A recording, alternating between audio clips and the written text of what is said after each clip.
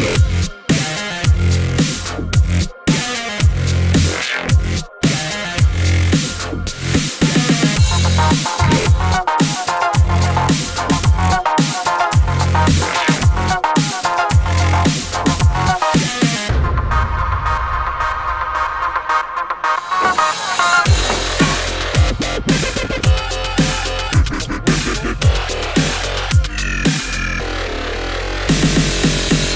Bye.